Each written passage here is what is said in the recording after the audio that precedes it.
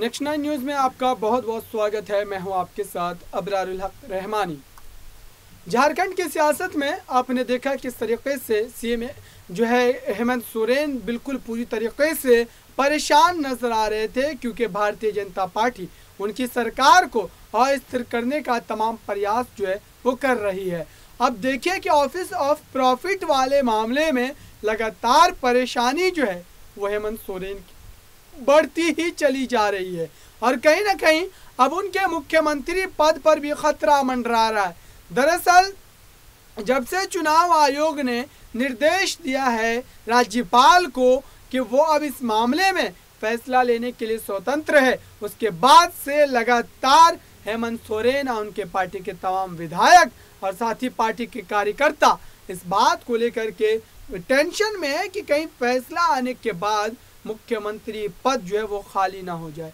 कहीं से सीएम हेमंत सोरेन को अपने पद से इस्तीफा ना देना पड़ जाए। और यही वजह है कि लगातार वो तमाम जो विधायक है, इस कसमकश में जी रहे हैं। लेकिन अब जो बड़ी खबर आ रही है, झारखंड की सियासत से, वो काफ़ी चौंकाने वाली है। दरअसल शिबू सोरेन ने इस पूरे मामले में चुप्पी तो साथ रखी थी, लेकिन अब ऐसा लगता है कि वो मुख्यमंत्री पद को लेकर के कोई बड़ा बयान ज़रूर देंगे। क्योंकि मुख्यमंत्री पद को लेकर के लगातार तमाम दावेदारी जो है अलग अलग चेहरों के द्वारा की जा रही है। लेकिन दिलचस्प ये बात है कि तमाम चेहरे जो है, वो परिवार के भीतर के हैं।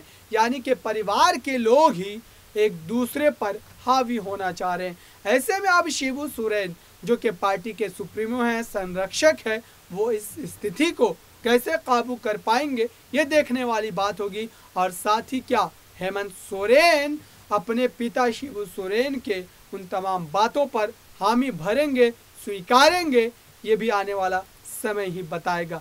फ़िलहाल झारखंड में मुख्यमंत्री पद को लेकर के तमाम गहमा गहमी जो है, वो जारी है। और साथ ही हेमंत सोरेन की कुर्सी पर भी खतरा लगातार मंडरा रहा है। इस खास रिपोर्ट में इतना ही। देखते रहिए ताज़ा तरीन खबरों के लिए नेक्स्ट नाइन न्यूज़ को।